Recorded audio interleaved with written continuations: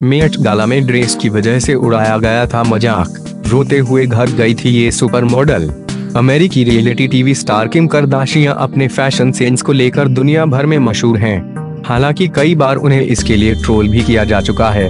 किम ने हाल ही में वोग से बताया है कि 2013 के मेट गाला इवेंट में पहनी गई अपनी ड्रेस पर मीम्स देखकर वे पूरे रास्ते रोते हुए घर गई थीं। उन्होंने बताया, मुझे भरोसा नहीं हो रहा था काउच से मेरी तुलना करते हुए काफ़ी मीम बने थे। मैं प्रेग्नेंट थी और काफ़ी मोटी थी। मैं सोचने लगी कि जब मैं पहली बार बाहर जाऊँगी तो काफ़ी बड़ी दिखूँगी। किम ने कहा, हालाँकि कुछ लोगों ने मेरे ड्रेस की तारीफ़ की थी। बता दें कि इस बार के मेट गाला में भी अलग अंदाज में नज़र आई थी।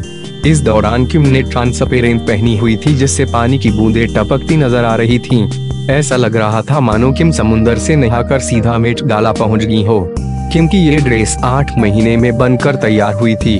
किम ने एक इंटरव्यू में कहा था ड्रेस की वजह से उनकी पीठ और पेट पर चोट के निशान मिले। उन्होंने स्वीकार किया था कि इस डिज़ाइनर ड्रेस की फिटिंग की वजह से उन्हें काफ़ी दर्द का सामना करना पड़ा। मैंने अपने जीवन में कभी भी ऐसा दर्द महसूस नहीं किया।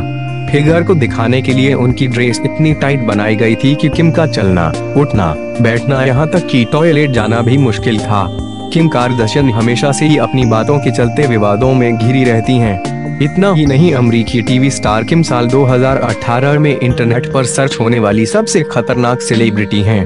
साइबर सिक्योरिटी फर्म मैकेफी ने ऐसे ही सेलिब्रिटीज की एक सूची जारी की थी जिनके नाम के सर्च में कई खतरनाक लिंक शामिल होते हैं इस लिस्ट में किम का नाम सबसे ऊपर था।